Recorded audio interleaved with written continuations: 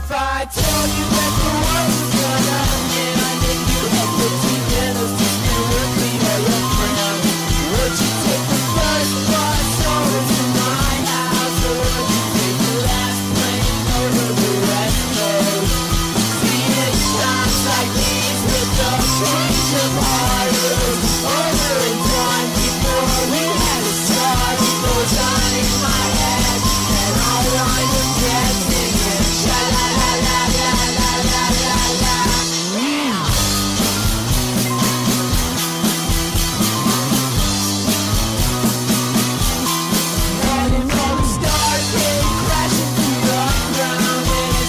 you.